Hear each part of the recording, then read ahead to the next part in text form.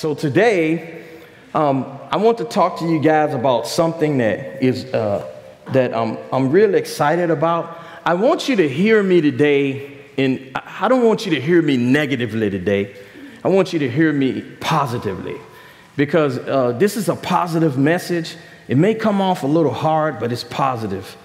Uh, it's a positive message because I've been noticing something in the body of Christ. I've been, I've been noticing certain things, and not just in our fellowship, because I, I, move around to a lot of, I, I go preach at other places, and I have brothers and sisters all over San Antonio, all over the United States, and even in different countries and stuff. And so I, I, I, hear things from other brothers and sisters and stuff. I hear things, and, and, uh, and, and it, it, uh, it kind of alerts me to a condition that we are in today, and it's something that we can change. Can somebody say amen? It's something that we can change. And I just want to alert you of it and, and, and give you some, something to chew on and think about as you go through your week. And um, it's something that the Lord like kind of presented me and asked, he asked me the questions that I'm about to ask you. And it made me really think about who I am in Christ and what I do in Christ and what I think about being in Christ. And me, you know, I'm, I'm the preacher man, but the preacher man, you know, I sat down with the Lord too. Can I, can I share with you a dream I had? I had a, I had a dream, and it, it happened years ago. And, um, and this kind of will introduce the message of be real quick. Um, I had a dream. I was walking into a white mansion a white mansion, and everything in that place was white. And it had a, a beautiful staircase. It was the floors were marble. It was just beautiful, man. It was a bone color white, like I like pearl white. I like pearl white. And so I walked in, and um, I was going through the whole house, and it was like, man, it was really neat. It was like everything in that house is what I like. And so I was walking up the stairs to check the upstairs, and I was looking in all the rooms, and one door of the house was locked, of the, of, of the upstairs was locked. And so I was like, hmm, that's locked. And then all of a sudden, I felt a presence next to me, a presence that I knew was the Lord. And he opened the door. And in the door, in the room was two rocking chairs. Beautiful room, but in the room was two rocking chairs. And I sat in one, and he sat in the other, and we rocked for a little while and talked and different things. And then he pointed to a wall in the room. Now, when he pointed to that wall, I looked at the wall and I didn't see it with my natural eyes, but I felt it. And everything on that wall was everything in my life that I was ashamed of, that I didn't never want to talk about, that hurt me, that damaged me, that all the bad things in my life was on that wall. And he looked at me, and I looked at him, and I kind of put my head down. And he kind of lifted my head back up, and he pointed to something on the wall in the left corner. And, and he said, How about that one? And I said, Okay. And he waved his hand, and it was gone. And I immediately felt it in my spirit it was gone. Boom. And boy, I felt so much joy when he did that. And then all of a sudden, I started pointing at all kinds of things on the wall. That, that, that, that, that. You know, and he would just boom and he just boom and it'd be gone. It'd be gone. It, it, was gone. It didn't affect me at all. I didn't feel it. I was just so happy. I was, I was filled with so much joy and love that I couldn't believe it. But then he pointed to the right side of the room, to the upper right hand corner, and he pointed at that. Everybody said that. He pointed at that. And he said, How about that one? And I said, I waited a few minutes and rocked. and he rocked with me. He was just waiting because God is patient. Can somebody say amen? And I told him, Not that one. And so he got up out of the chair, and I got up. He walked towards the door. I walked towards the door. And we stood outside the door. He shut it and he locked it and he put the key in my hand and folded my hand up. And he looked at me and says, Whenever you're ready to go back in, I'll be waiting for you.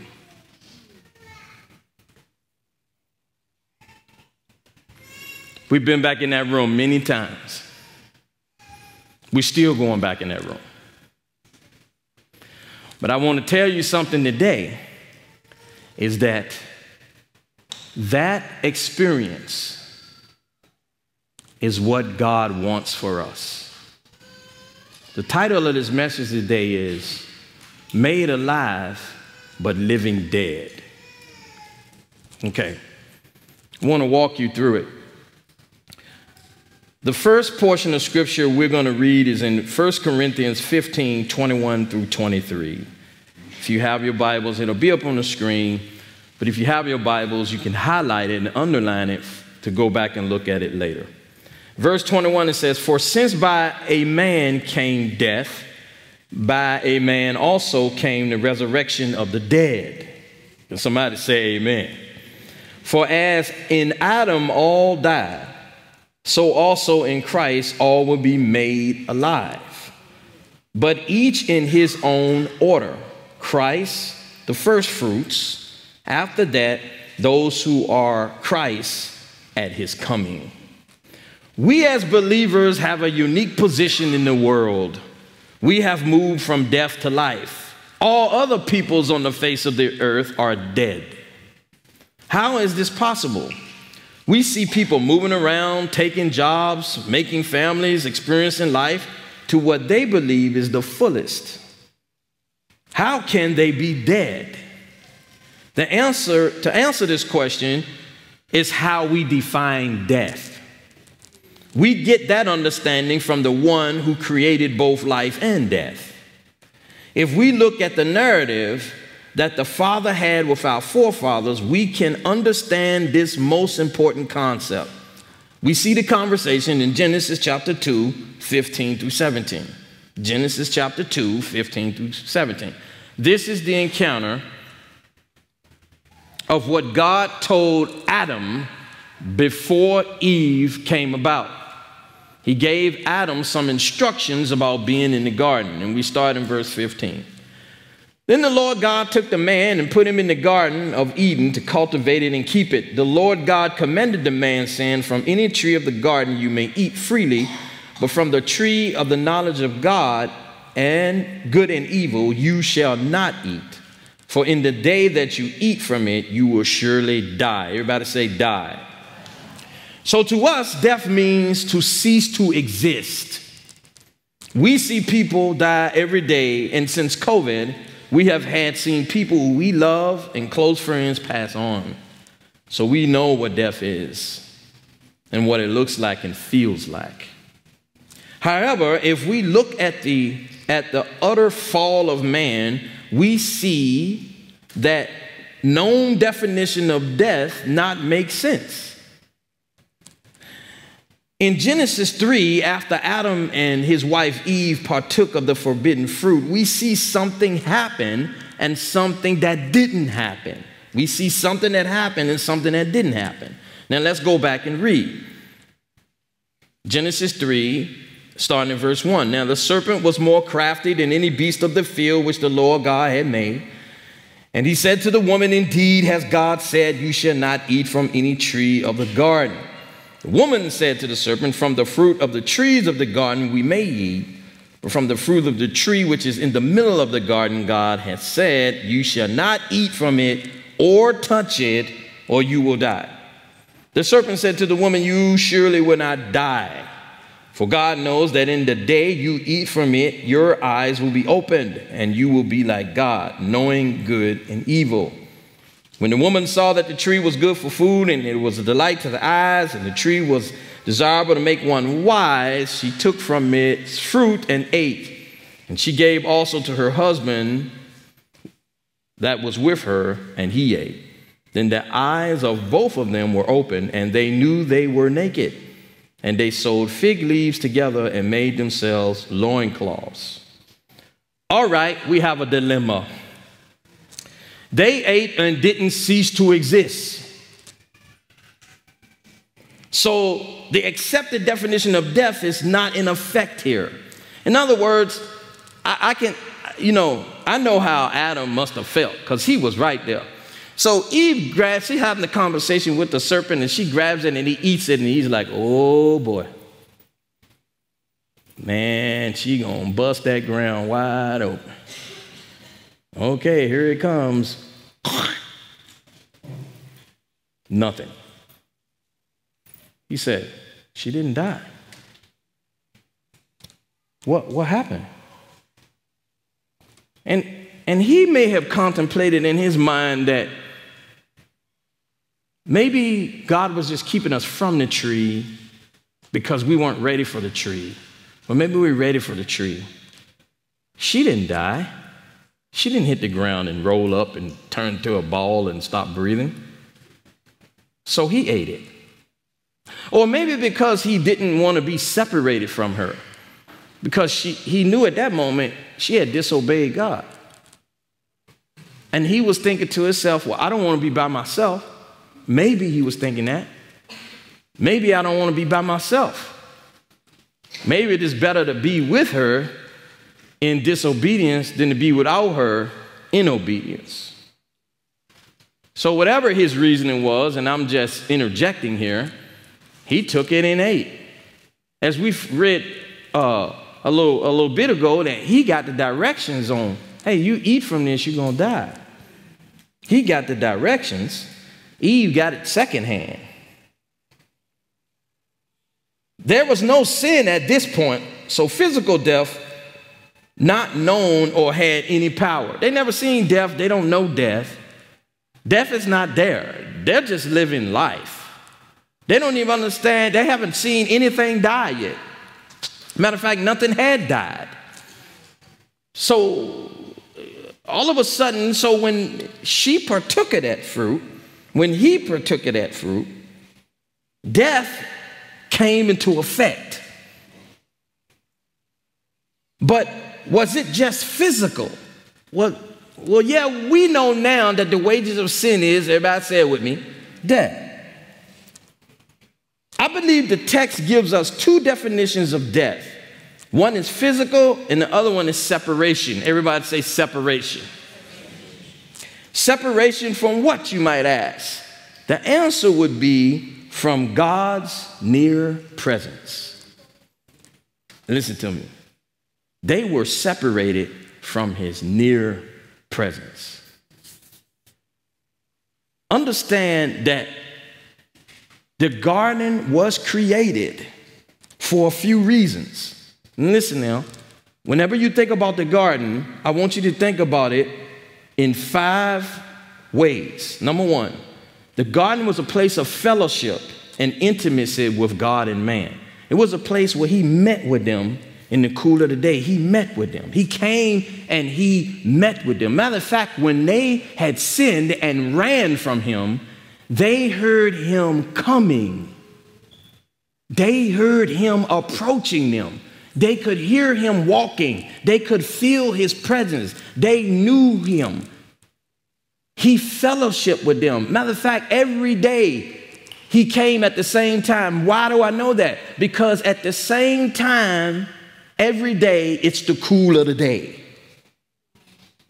It's not a different time every day. It's not a different, he came every day. So he made that appointment. That was an appointment that he had with man at that time.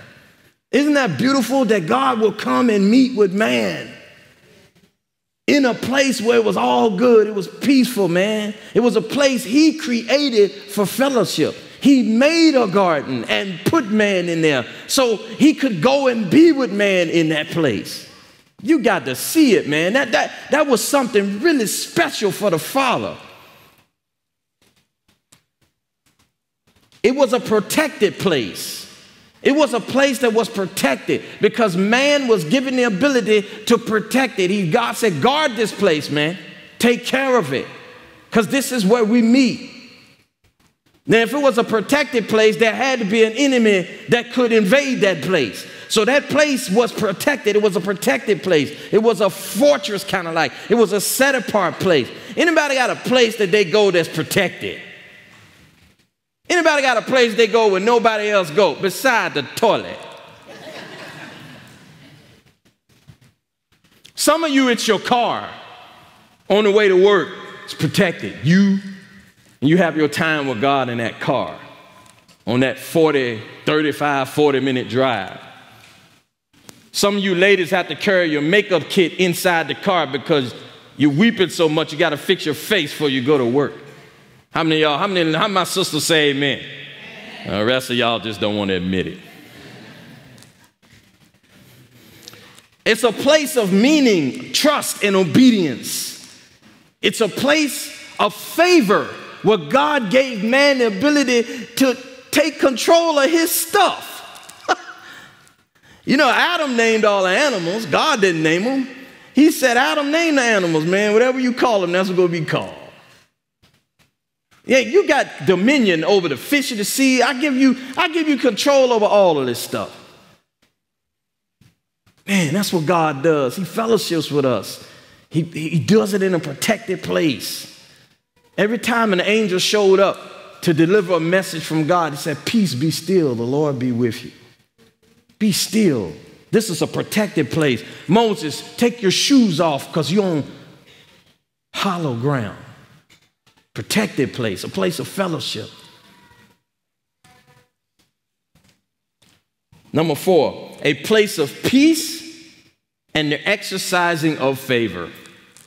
Number five, a place that expressed truth, true life, as seen by the Father. It was true life because life was defined by God as being with Him.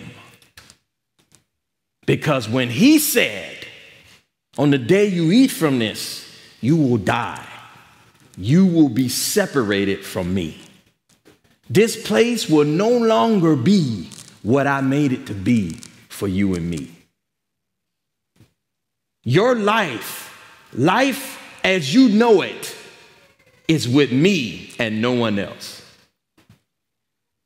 Adam didn't know any other life. Adam and Eve didn't know any other life but being with God. They were used to his presence. They were always in his presence. They was used to it. They didn't have another way of life. He said, but when, if you do decide you want to disobey, you will now experience a life without me. And he called that death.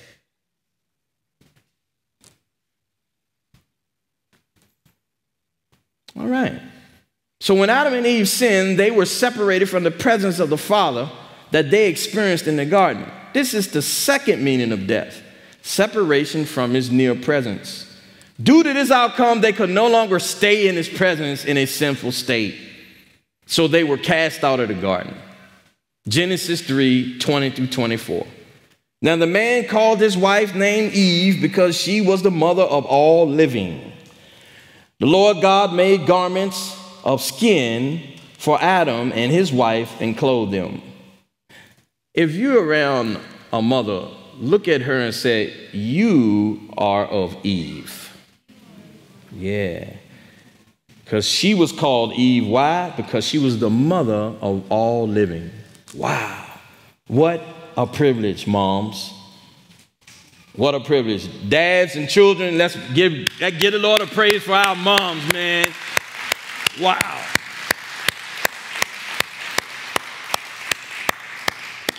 I tell you what, man. I watched my wife do that three times, and she's a superhero to me. You need to put a cape on her or something like that. That's some stuff delivering kids, boy. Mm. I mean, you I mean, you talking about the Incredible Hulk, you ain't seen nothing. Verse 22 Then the Lord God said, Behold, the man has become like one of us, knowing good and evil, and now he might stretch his hand out and take from the tree of life and live forever. Woo, you see the problem? Do you see the problem? Man had already sinned and died. What if he'd have reached out and ate from the tree? Could God have saved us? No. We would have ate from that tree and stayed like that, so then he would have had to judge us. with no chance of us ever being saved. So he kicked us out. He kicked Adam and Eve out of the garden. Why did he kick them out of the garden? That's interesting. Therefore, the Lord God sent him out from the Garden of Eden to cultivate the ground from which he was taken. So he drove the man out, and at the east of the Garden of Eden, he stationed the cherubim and a flaming sword, which turned every direction to guard the way of the tree of life. Every direction it swung, guarding the way of the tree. Did two things it was to guard the tree and to remind Adam and Eve that the tree was still there. I'm gonna guard this tree because if you guys eat from it, you're gonna live in your sins forever. But I'm gonna let you know that I got plans for this tree. You're gonna see it again. Well, praise the Lord for the saving grace of the Lord Jesus Christ, because we are no longer dead. Through Jesus, we, are, we now have a new and living way. Can somebody say amen? Hebrews chapter 10, verses 19 to 23. Therefore, brethren, since we have confidence to enter the holy place by the blood of Jesus, by a new and living way, woo, which he inaugurated for us through his through the veil, that is his flesh. Pay attention to that because he's, he's doing a play on words. On the day that Jesus died and was crucified, there was a veil that separated the Holy of Holies from the rest of the temple. Only one man could go in there one time a year, and it was the high priest. And it was it separated the Holy of Holies from everything else. When Jesus Christ was being crucified, when he gave up the ghost and said, It is finished, that veil was torn from the top all the way to the bottom. In other words, God says there's no separation between us anymore. I don't, I don't know about y'all, but I'm so happy about that. And what he is saying in Hebrews is that when that veil got torn, it was a representation of Jesus being torn. What happened in the temple was actually happening on the cross. God was sending a message. When he says it is finished, tetelestai, it is finished. When it was finished, what was finished? What had happened in the garden was finished. When man was kicked out, God says, All right, I can bring man back in. So the veil was ripped. So no longer God said, Hey, man, ain't no separation between me and man no more. I can have what I always wanted. Jesus gave up the ghost. Veil was written, was torn in half. God said, Now, told the cherubim, Stop swinging that sword. The tree of life is now available for everyone who will believe. God, you got to see it. So he says this is a new and living way. Why? Because the dead people who didn't know his near presence have been invited back into his near presence. You, we have been invited back to be with him every day, just like Adam and Eve had. We get to know what they knew. We get to feel what they felt. We get to meet with him in the cool of the day. I advise you, man. I encourage you. Come out here at 8 o'clock. 8 o'clock, man. Out there in the amphitheater, just sit out there. You'll feel God walking around out there in the cool of the day.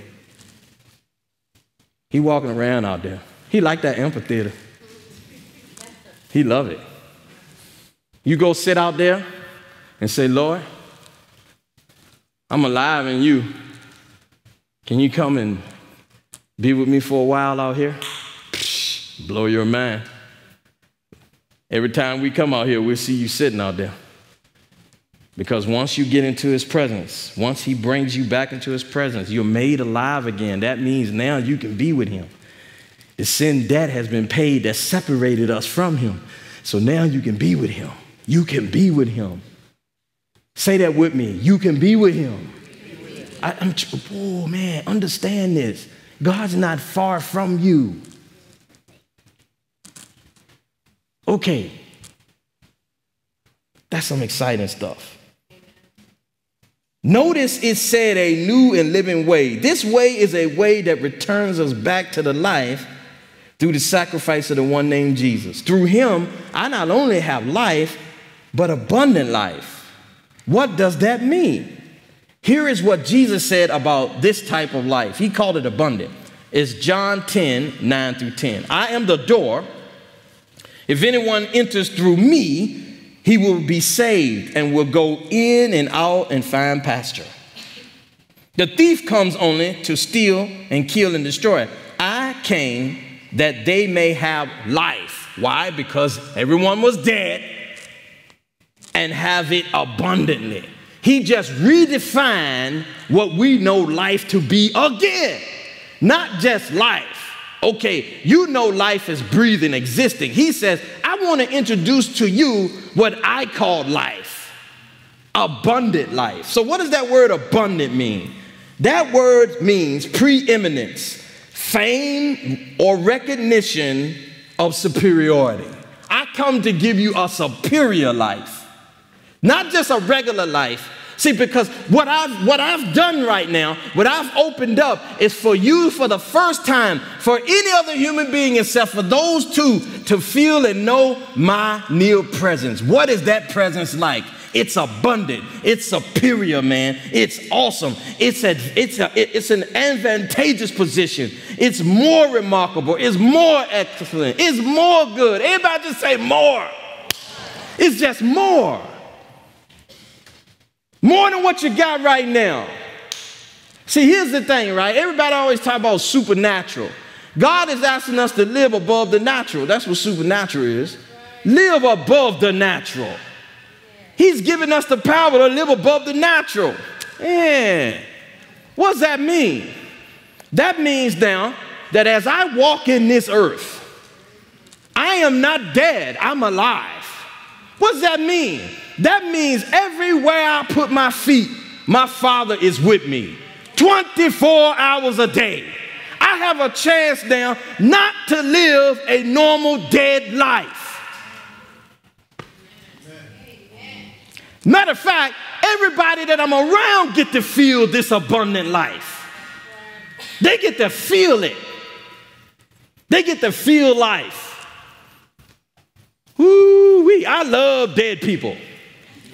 Because when I get around them, I want to love on them. I want them to feel life coming from me. Oh yeah, oh yeah. If you if you're around Pastor TC at any time and you got dead stuff rolling around in you, oh man, I'm gonna breathe on you, try to bring you back to life. And hope I'm chewing gum when I do it. It's all about being alive, man. It's not being dead. We live in these dead lives, man. God called us to be super doctors. We let everything, we let all this stuff in the world convince us we're not alive, but we're dead. We do it every day. We're in His presence. Wait a minute. I, the same presence that raised Jesus from the dead lives in us.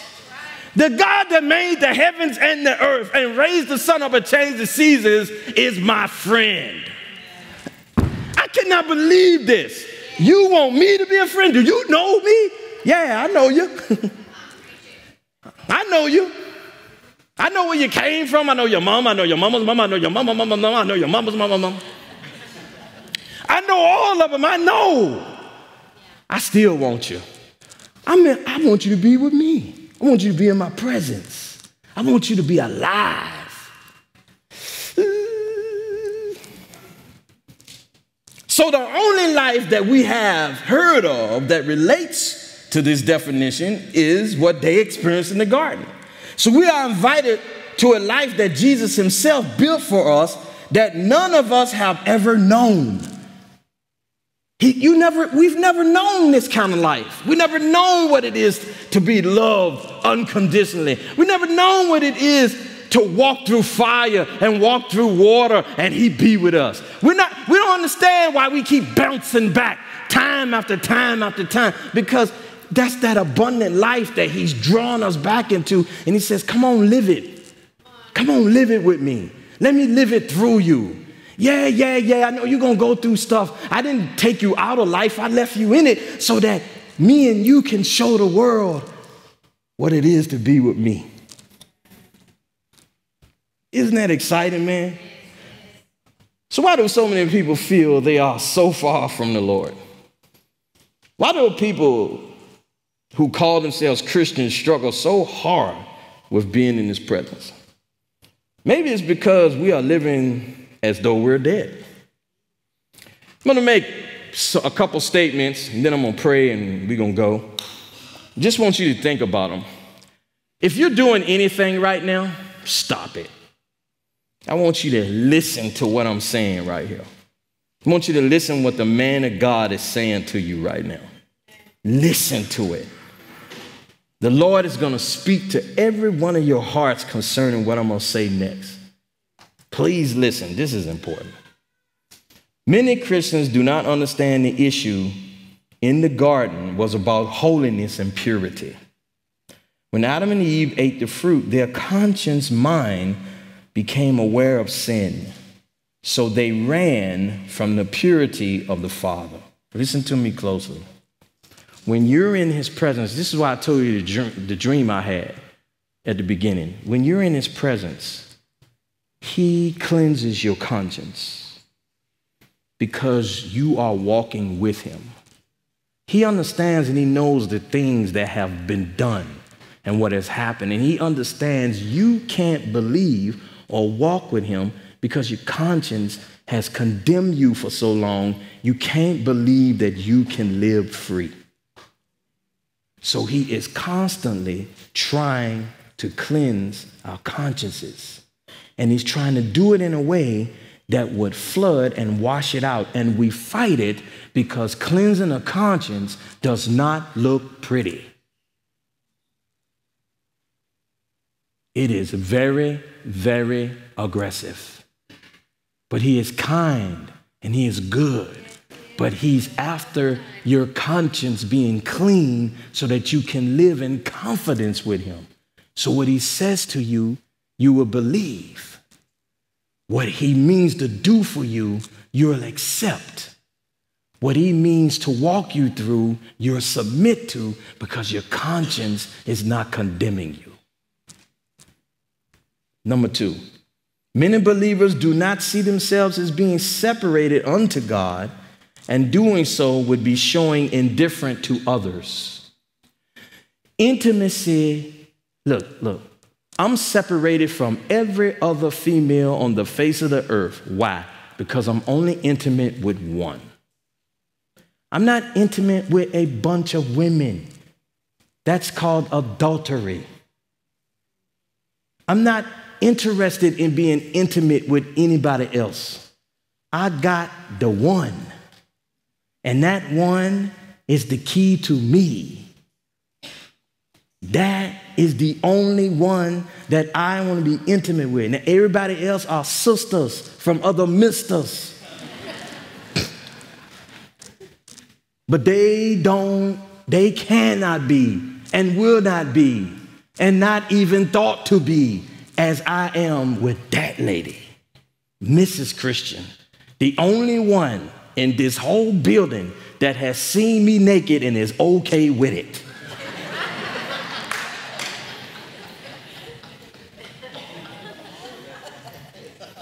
Intimacy. God is saying, I want that intimacy with me and you. The garden you in is about me and you, not me and other gods. And everything that comes again, that gets in the middle of that is idolatry to me.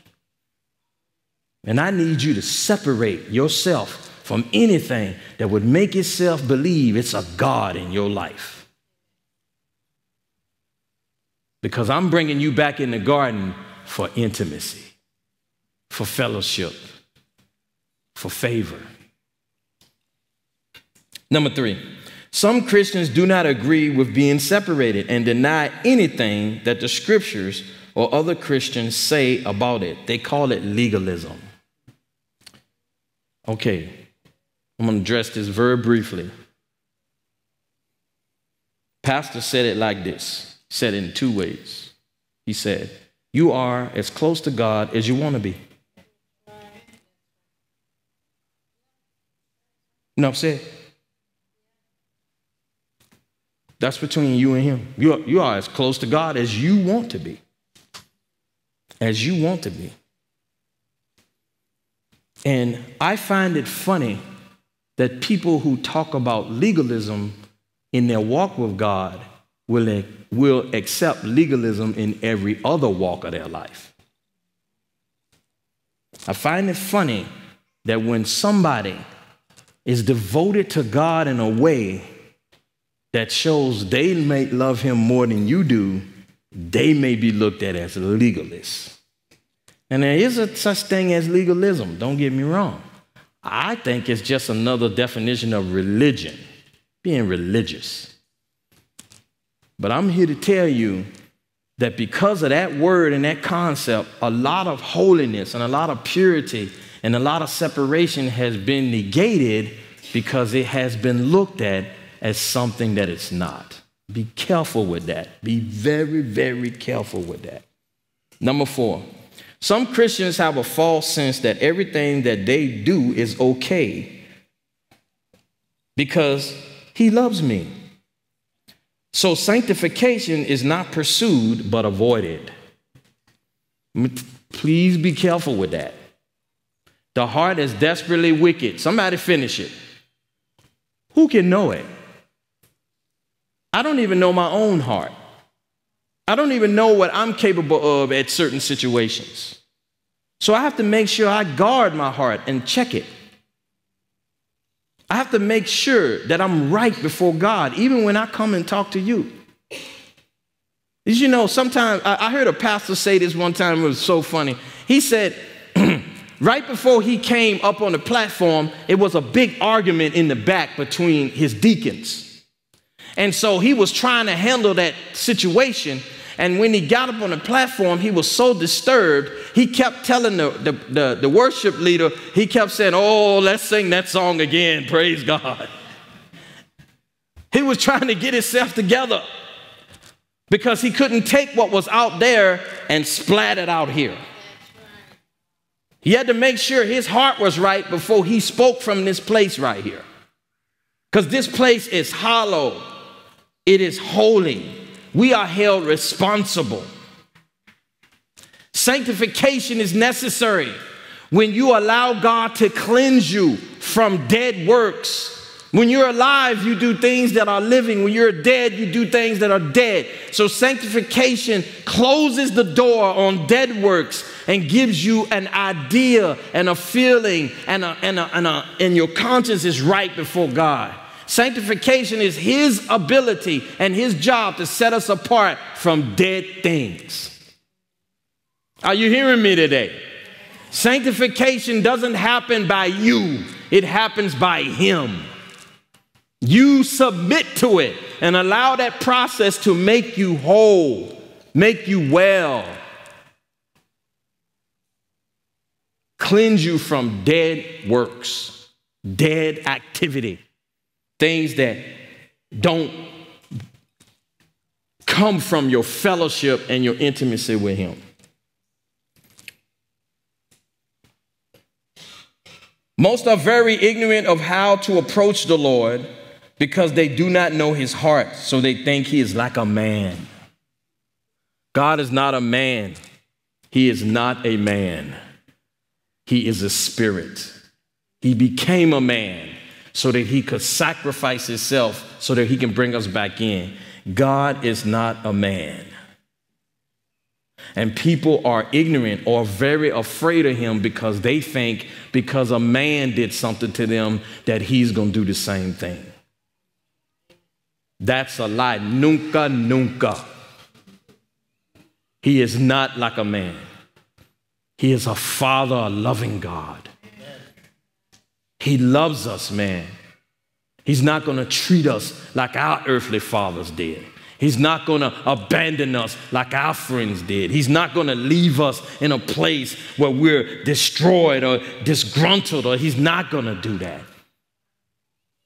Cain, man, was mad, angry, and God took the time to talk to him. Cain, listen to me. You're about to get in big trouble because your attitude is messed up. I want to talk to you about what sin wants to do to you. That's a loving father. He could have just wasted Cain right there so Abel's life would not be given, but he didn't. He talked to him like a father, knowing what he was about to do. Sometimes God speaks to our hearts, knowing what we're going to do because he loves us and he wants us to see it, not have to be made to do it. And some of us don't understand that because we're so we're so wounded, we're so broken, we're so beat up that we don't we look at God just like we looked at the person that did that to us. And the last one I want you to think about. Some Christians have the notion because they do works for the Lord, they are close to him. But their lives outside of works tell a different story. Sometimes we do things and we think that will fix the ledger. But God's not looking at a ledger, He wants intimacy, He wants you, He wants your heart. Yeah, all of that's good. But are y'all walking in that room and sitting down in that rocking chair and dealing with some things? Because that's what he really wants to do. Anybody can serve God doing things, but very few people can walk with Him in the cool of the day. And that's what He desires more than anything else. The Bible says Israel knew God's hands, but Moses knew God's heart. And He called Moses his friend. There was a situation where Aaron and Miriam and Moses was arguing. And Aaron and Miriam, which is his brother and sister, they had a problem with the Ethiopian woman he married, which was Zipporah, which he took for a wife when he was in Midian. So they was upset about him marrying her because she was not a Jew. She was not from their line. And they were talking to him and they were arguing back and forth. And Miriam said, We hear from God too. You're not the only one. So, man, God came down and he called them out of the tent. he came, down and called them out. So, all three of them came out. And he talked to all three of them. He said, Look, when I speak to a prophet, I do it in dreams and visions. He said, But not so with Moses. I speak to him face to face like a friend. He said, Why were you not afraid of speaking against my friend? He gave Miriam leprosy, just like that. Moses fell down be quiet, take her out to camp. You know what to do for her. We'll bring her back in. The only reason Aaron didn't get it because he was a high priest.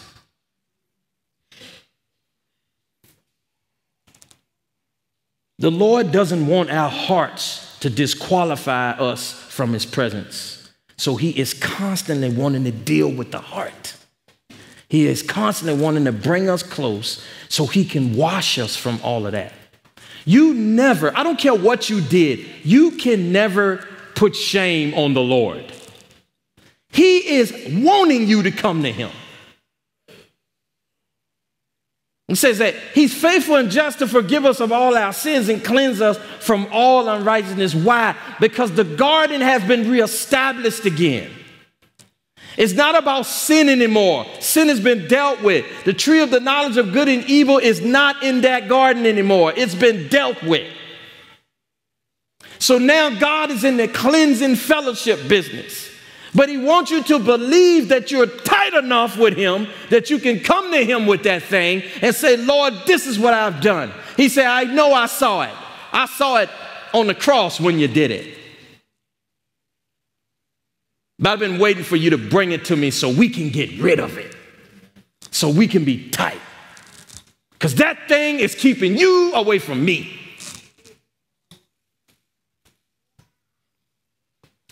So, these are but a few reasons why people forfeit the near presence of the Father and live dead. This is not God's intent at all.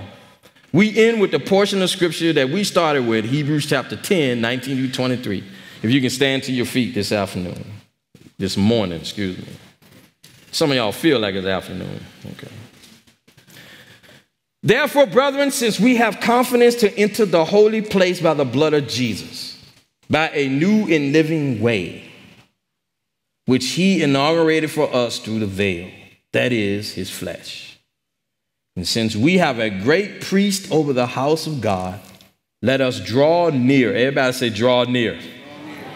With a sincere heart and full assurance of faith, having our hearts sprinkled clean from an evil conscience and our bodies washed with pure water. Let us hold fast the confession of, of our hope without wavering, for he who promised is faithful. Amen, man. Amen.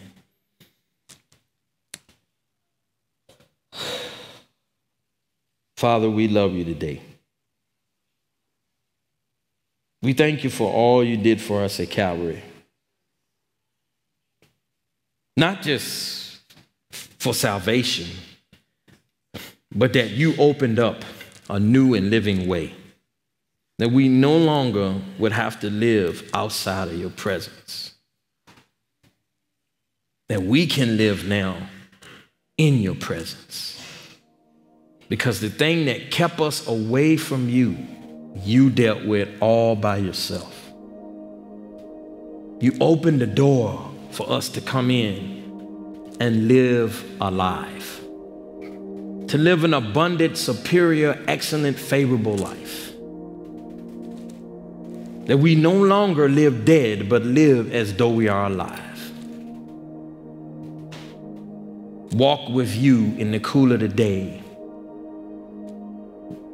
You, every, not just in a place that, that you establish that you call a garden, but in every place we are with you is the garden. Everywhere we go, when we call on your name, when you call us, we will answer. When you we call you, you will hear us.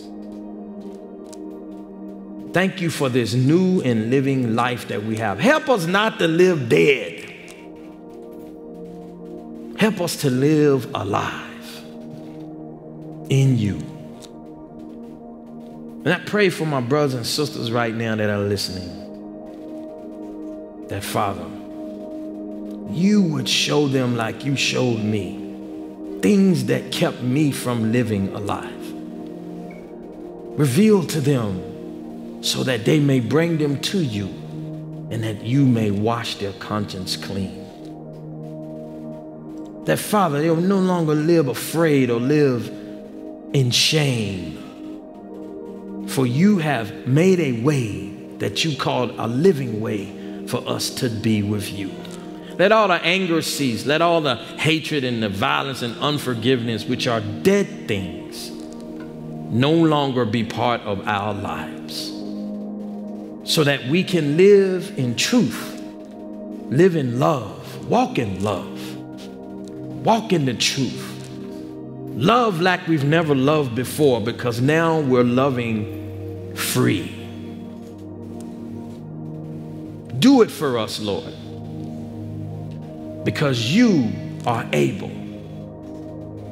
You are the lover of our souls. Even when I don't even love myself, you love me. Even when I look down on myself, you tell me those are wrong thought patterns, son. I have freed you from the curse of the law. I became a curse so that you may have life. Live free in me. Everything that bothers you, everything that disrupts you, everything, bring it to me and we will deal with it because I have prepared a way for you. Don't walk in the broad way, walk in the narrow way because the narrow way is the new and living way. Yes. Thank you, Jesus, for the work you did, for the work you're doing, for the work you're going to do.